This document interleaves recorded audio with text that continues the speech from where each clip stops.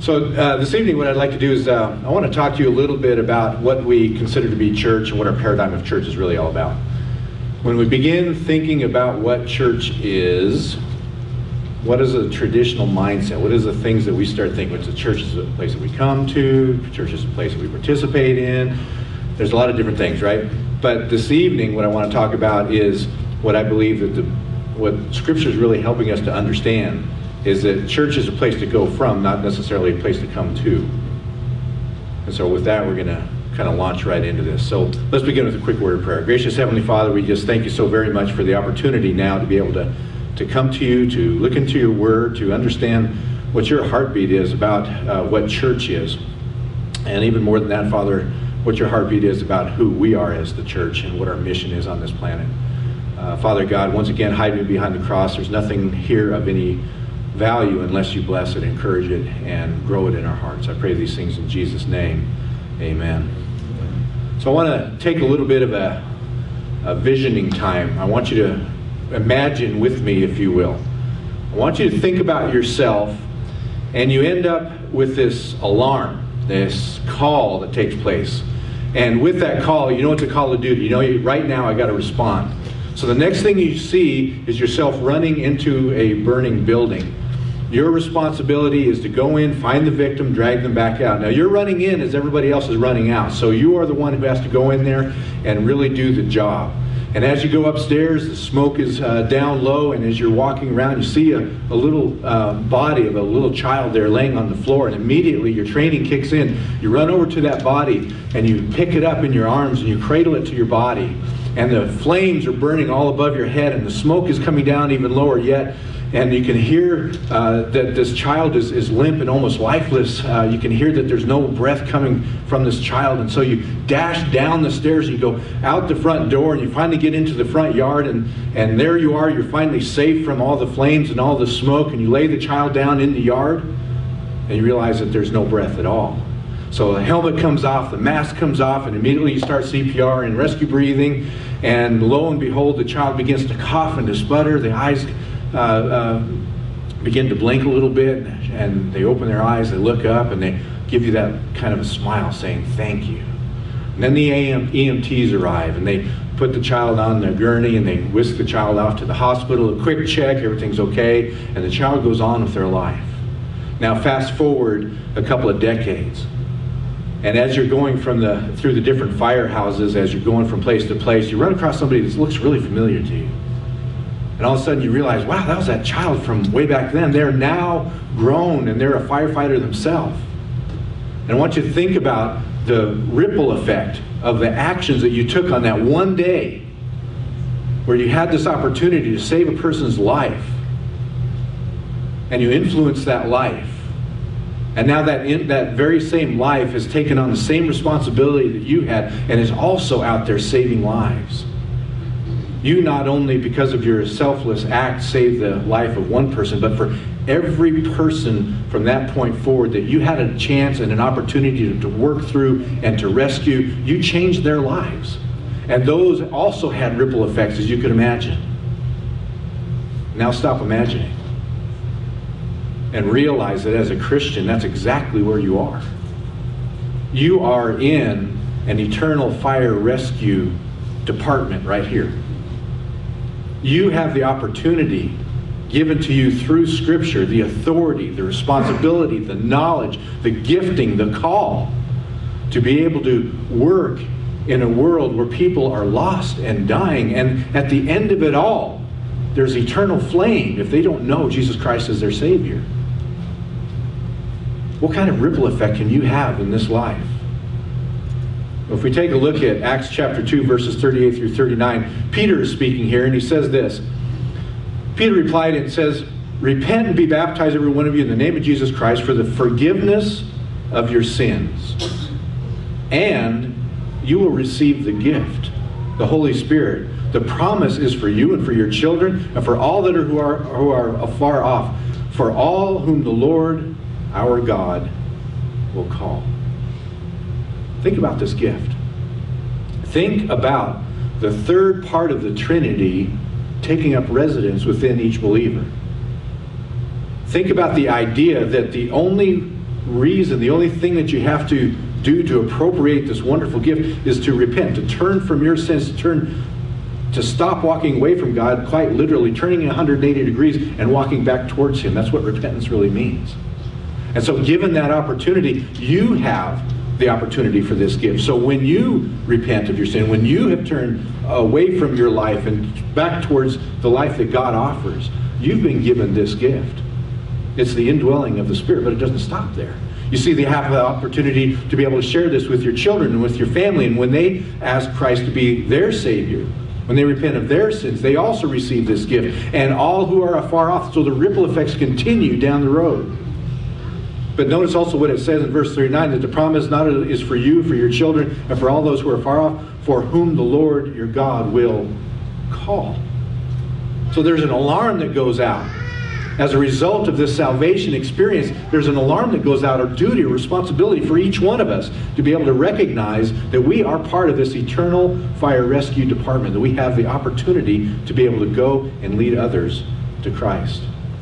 Notice what it says in Romans 11, verse 29 For the gifts and his call, for God's gifts and his call are irrevocable. Now, it's for sure that each one of us have certain inherent gifts as well. We are born hardwired with certain talents and abilities. One of the abilities that I do not have is the, is the ability of music. Thankfully, this mic was off while we were singing. Otherwise, this room would be empty right now. But given the opportunity, I mean, there are things that I can do. I like to climb mountains. And it's a funny thing, but that can actually be used uh, for the Lord. There are opportunities. Uh, God was so gracious for uh, with me back in October of last year to be able to go and do this marvelous trek in Nepal. As a result, my guide came to know the Lord Jesus Christ as a personal Savior. What ripples could that possibly have to change that family tree? To change the Sherpa community, to change the trekking community as we, Lord willing, will go back again this year, and now we're going to be presenting the gospel as we go. What great ripples does this have? But you see, God's inherent gifts, the ones that He gives you, those certain inherent talents, are intended to be used for His purposes, for His glory. So they may be raw in a raw state with you, but given the opportunity, God can use those and hone those uh, skills and gifts that you can then become uh, uh, a, a, worker, a part of this uh, eternal fire rescue department, if you will. So he says that God's gifts and his call are irrevocable. In other words, that call goes out. Whether or not you respond is a choice. Now, when I had opportunity to be on a volunteer fire department, I had a choice. The, in fact, the policy was 30% of the calls that go out you need to respond to. But I had a choice to respond to those calls. As do you. You have that opportunity. But God's call is irrevocable. He doesn't say, well, you get a pass on this one. Each one of us have that call and that responsibility. Romans chapter 12, verses 3 down through 8. Notice what Paul says uh, to the Romans here. Verse 3 says, For by the grace given to me, I say to every one of you, do not think of yourself more highly than you ought, but rather think of yourself with sober judgment in accordance with the faith that God has distributed to you. Now, why would he give such a warning? It's because human nature has a tendency to compare ourselves with ourselves, amongst ourselves. And so somebody will say, well, you know, brother, I, I can't stand up there and talk like you.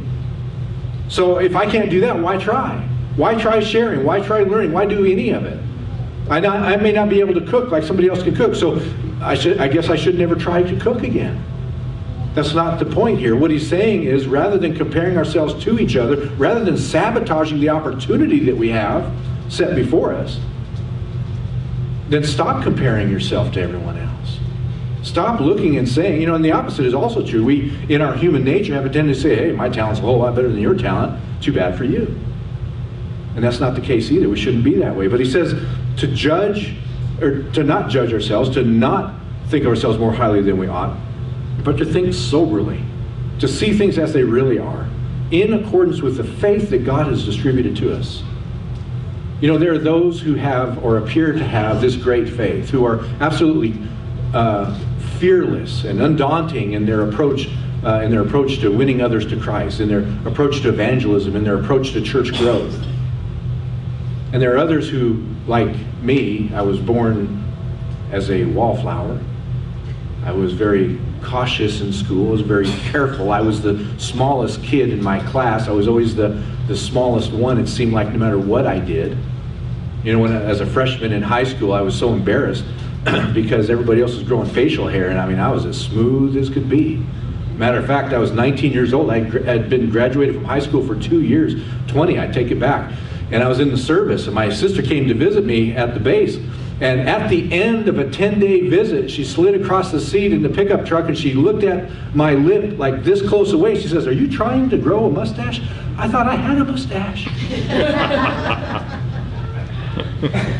so, not every one of us are gifted or given exactly the same. The same thing is true about the distribution of faith. Not all of us have that so called great faith. But you know what's cool about this? We don't have to. Enough is sufficient. Understand what I just said? Enough is sufficient. If you've been given a measure of faith at all, it's enough. And it's sufficient for you to do what God wants you to do.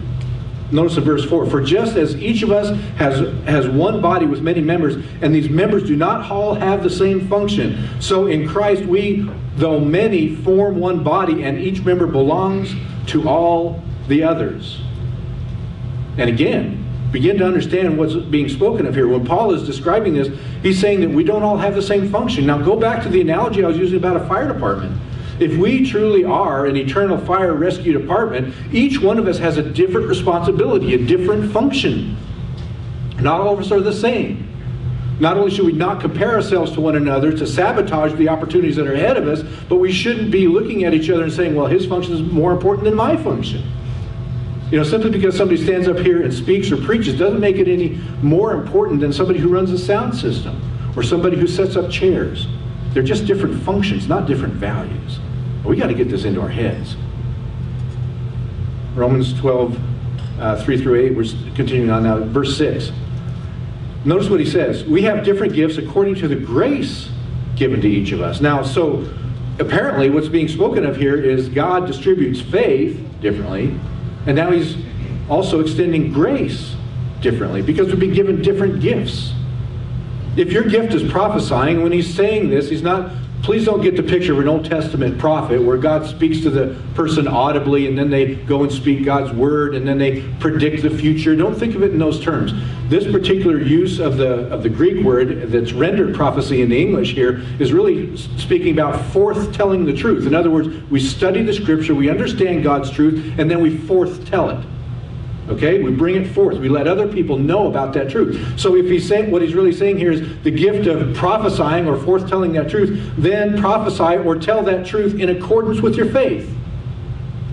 If it's serving, then serve. If you teach, if it's teaching, then teach. If it's encouragement, then give encouragement. If it's giving, then give generously. If it's to lead, then do it diligently. And if you're to show mercy, then do it cheerfully. In other words, whatever your hand decides to do, do it with all of your diligence. Whatever that gifting is, then do it with all of your might. And do it for the glory of God. Notice in 1 Corinthians first, uh, chapter 1, verses 4 through 9. Verse 4 says, and Paul again is speaking to the Corinthian church. He says, I always thank my God for you because of his grace given you in Christ Jesus. For in him you have been enriched in every way. That's fascinating to me. God says that we are already enriched by virtue of the fact that the Holy Spirit indwells us. There's the gift. We're already enriched with all kinds of speech and all knowledge, God thus confirming our testimony about Christ among you. Verse 7 Therefore, you do not lack any spiritual gift. Eh, think about that. What does it say? I mean, come on. Is God telling us the truth here or not? Amen. Okay, good. The idea is this that you've already been enriched in every way. You have the knowledge and the skill sets available, rough though they may be. They're there. Remember what I said a minute ago? Enough is sufficient. It's enough. You have it available to you. And now he says you don't lack any spiritual gift. So when I walk up to somebody and I say to somebody, hey, you know what? why don't you pray about going on a short term mission trip with us? You know what the first two things I hear out of people's mouth? I don't have enough time, I don't have enough money.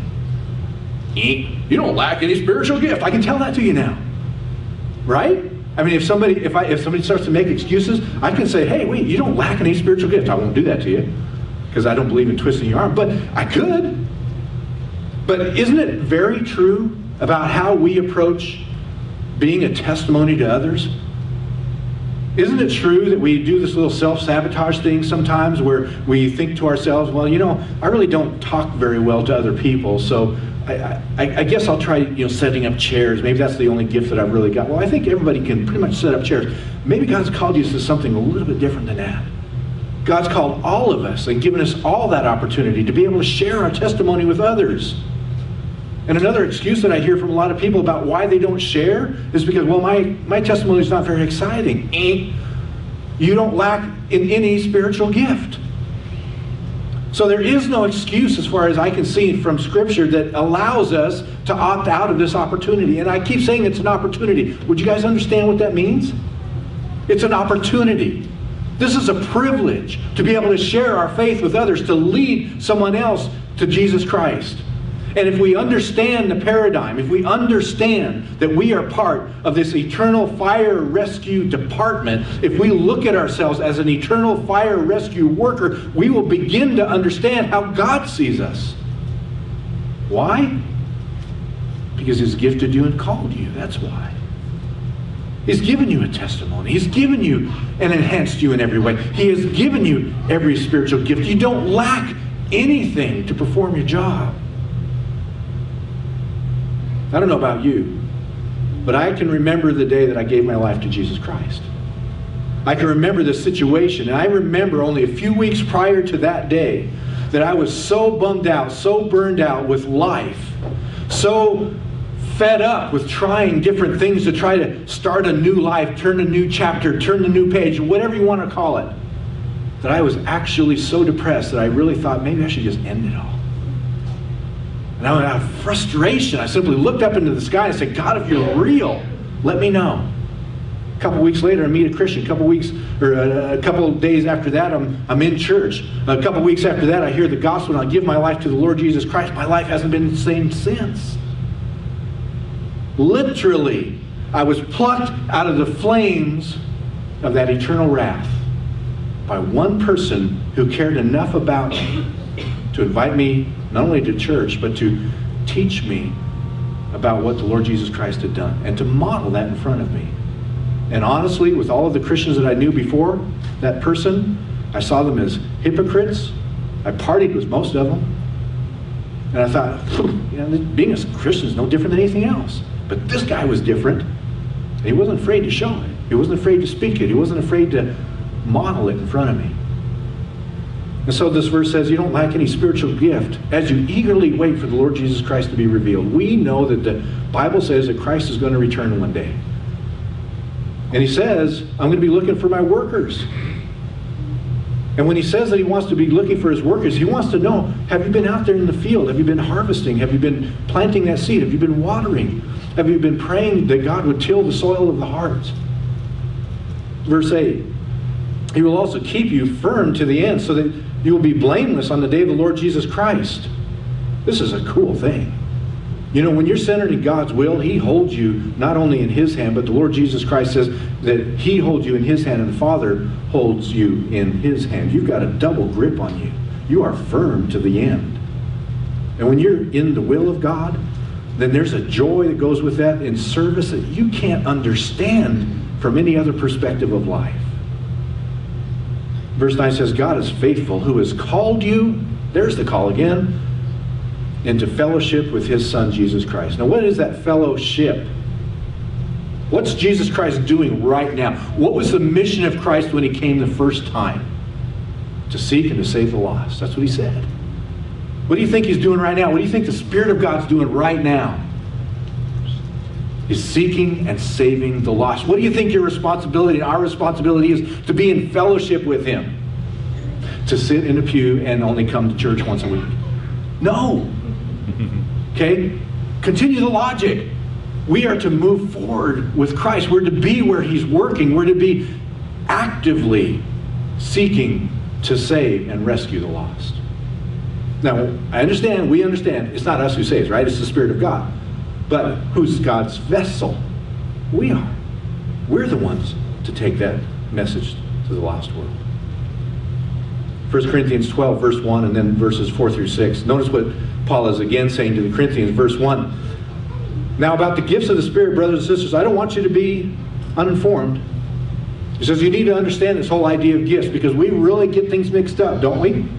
Okay, we make gifts some mysterious thing that's out there in the ozone, and somehow or another we appropriate it some weird way. Maybe we take tests, you know, on the internet or something, and somehow or another stumble into our gifting. Try it again. Verse 4 There are different kinds of gifts, but the same Spirit distributes them. There are different kinds of service, but the same Lord. There are different kinds of working, but in all of them and in every one, it is the same God at work. In other words, your gifts and my gifts, they're going to be different, but they're all synergized and brought together just like a team. He places us in this eternal fire rescue department, and then he gives us certain responsibilities and certain gifts and certain calling to be able to synergize everything together. 1 Corinthians 12, verse 31. Now, what's cool about Corinthians is it talks about those gifts. And Paul again goes to the analogy of the body, how each one of us is like a, a, part of a body, and we all fit together, and we're all to be in unity, working for the Savior. At the end of that chapter 12, he says, Now eagerly desire the greater gifts, and yet I will show you the most excellent way. So he says, I want you to desire these gifts. I want you to take that raw talent that you've got. And as God blesses and encourages you to use it, it becomes more and more refined and more and more usable. But he says, don't stop there. Desire the greater gifts. This is an important thing. But then he goes on to say, I will show you something that's even more excellent. And in, in chapter 13, he begins talking about love. This is the whole love chapter. And he talks about the commitment of love, and he talks about the things of love, and how love acts in certain ways that, that God, that, uh, that love never fails. He gets to all of that, right? In chapter 13.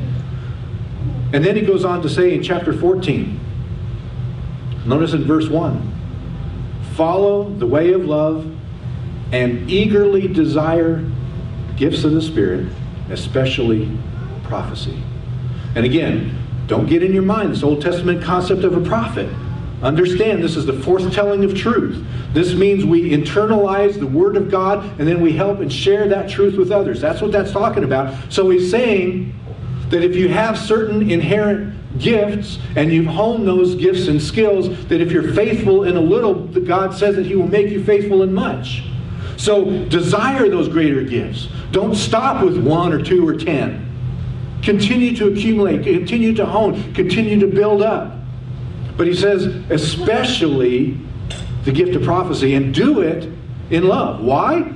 He goes on in, in the previous chapter, he says that even if you do all these great accomplishments for God, and if you fail to do it in love, you've really achieved nothing. You're like a, an empty sound that doesn't make any sense. But if you do it in love, then there's an eternal capacity to what you're doing. That's why Jesus in Matthew 28, verses 18 and 19 says this. And then Jesus came to them and said, All authority in heaven and earth have been given to me. Therefore, go and make disciples of all nations. What's he really saying? He's saying, Because I have gifted you, because I have called you, because I've set you apart, because I've made you part of this eternal fire rescue department, because I've trained you, because I have taught you all of these things, and I have led you, then I need you to go and do something for me. Reach people for the kingdom of God. So let's summarize really quickly where we are. All of these other verses, what are they teaching us? Okay, the first thing is the gift all believers have is the indwelling Holy Spirit. If you're truly born again, then the Spirit of God resides in you. That is your seal. The gift is not just for you, but it's also for your children, for those who are far off, which means that there's ripples to that effect. You are the one that God has called to reach the world. God gave you a certain inherent raw talent to be honed and to be used in His servant to rescue the lost and dying in this world.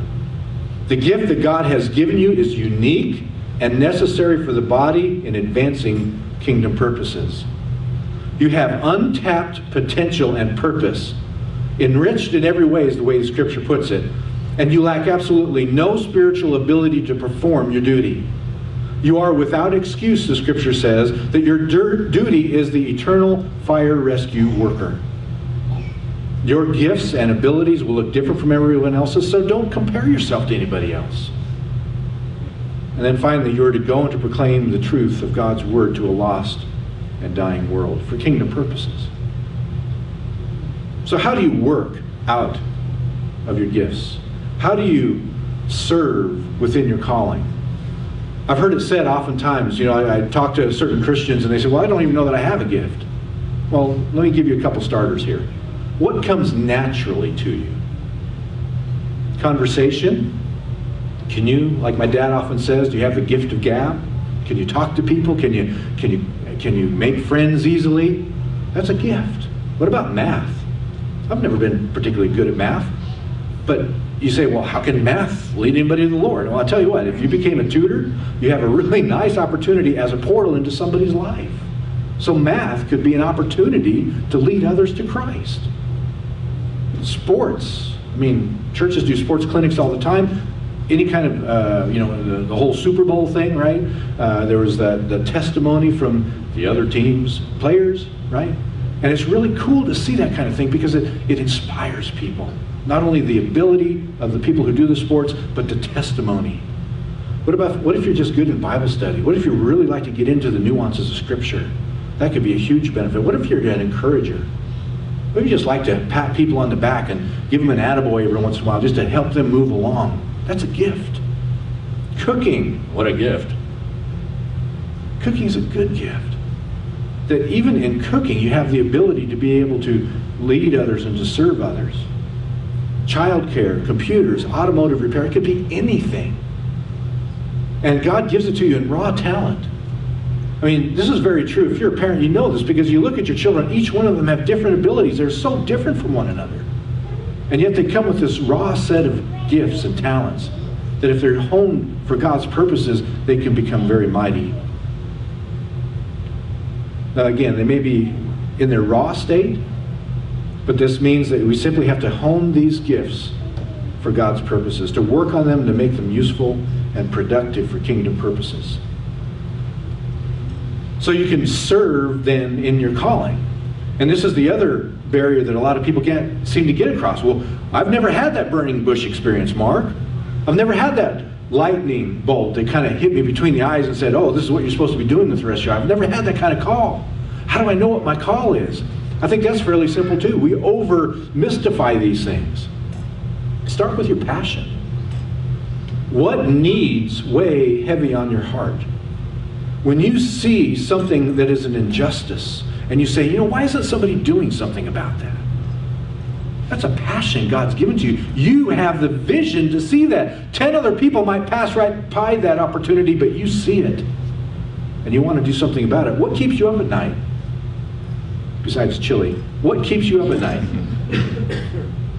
What is it that is in the back of your mind that you just can't get any rest until you know something gets resolved? What kind of problem do you think it's up to you to solve? You know, we have a neat little saying your misery is your ministry. I think it's very true. You know, oftentimes we say, well, why isn't that church, you know, cleaned up better? Why, why doesn't somebody take care of that that uh, elderly person's uh, driveway when it snows. Why aren't people doing well? Maybe it's your ministry. Maybe it's your misery that you're seeing. What's your passion? What situation around you drives you to action? You see, within your passion is your mission. That's your calling. And when you begin to understand that we are all connected together, just like Paul said, this is not cowboy time where we just, hey, I got a passion, I'm out of here, boom, and you go take care of it. This is when we come to the body and we say to the body and, and say, you know, the Lord's really moving on me. There's something here that I, I'm not sure how to approach this, but would you pray with me? I think God wants me to start ministering to these people, to start meeting these people's needs. How do we best do that? You know, one that's been weighing on my heart lately, and, and this is a, a thing that I'm just being very vulnerable before everybody today, but I want you to understand something. It bothers me when I pull up to an intersection and there's a beggar there. It bothers me. It bothers me because I feel guilty. On one hand, I feel like sticking my hand in my pocket, grabbing a hundred dollar bill, and just throwing it out there. Not that I have one, but I, if I had one, I'd throw it out the, the window and say, "Here." But on the other hand, I'm thinking, well, does that just enable their their lack of willingness to work or, or whatever the situation is? Now, I work with the homeless. Okay, uh, uh, Homeward Bound is the is the organization within Grand Junction that has the homeless shelter downtown. And as an architect, I've been working with them to help develop a new um, uh, whole complex and uh, to renovate their, their building. And so I'm very, very aware of what the homeless situation is like and why we have homelessness and why we have the disenfranchised within our society. But it bothers me as an individual to not take a more direct approach. So I've been praying about it. And I'm saying, Lord, what do I, what do I need to do when I see an individual standing on the side of the road with a puppy or a child or in a wheelchair with a sign that says, I need food. What do I do?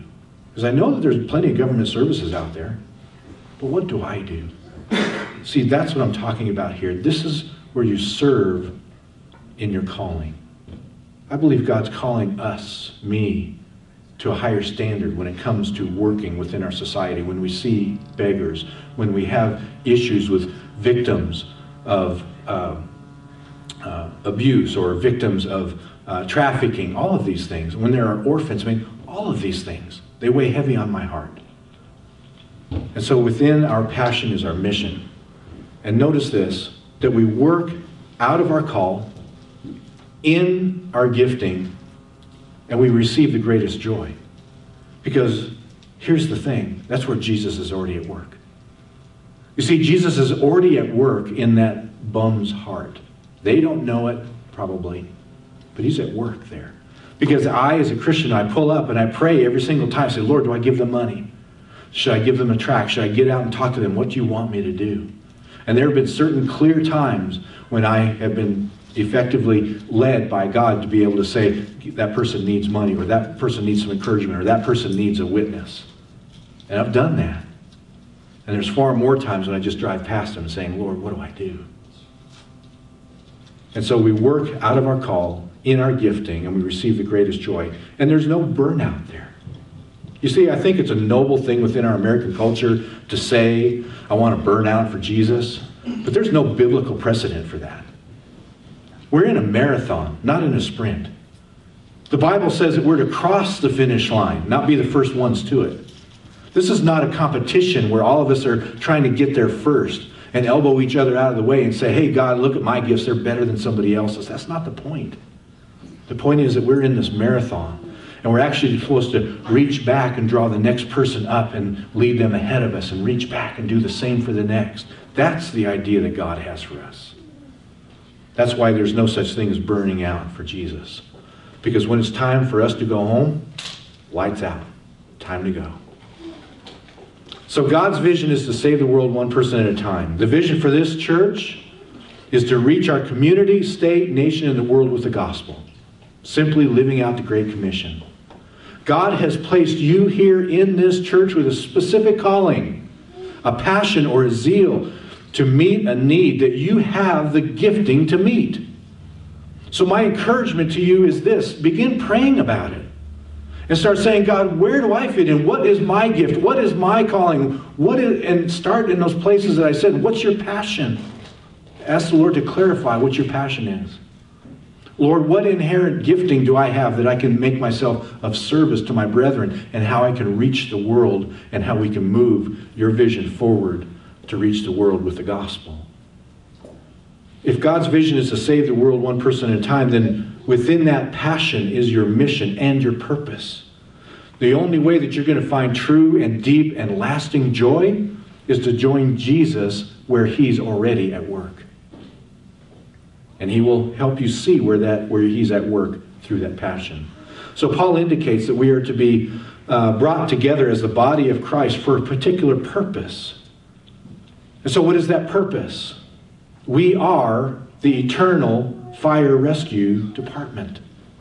Jude says it this way in verse 22 and 23 Be merciful to those who are in doubt. Notice this next part save those by snatching them from the fire. To others, show mercy mixed with fear, hating even the clothing stained or corrupted by the flesh. But we can't live out the Great Commission without first understanding the Great Commandment. So the Great Commission flows from the Great Commandment. Mark chapter 12, verses 29 down through 31, Jesus was once asked, What is the Great Commandment? What is the great law? What's the one thing I need to focus on, Jesus? And this is what he said. He says, This is the most important one. Hear, O Israel, the Lord our God is one. Love the Lord your God with all of your heart, with all of your soul, with all of your mind, and with all of your strength. And the second is like to it love your neighbor as yourself. There is no commandment greater than these. So last weekend, I was able to attend a training with a few other people uh, from our church that went. And they had a little sheet called the Sheet of Shame.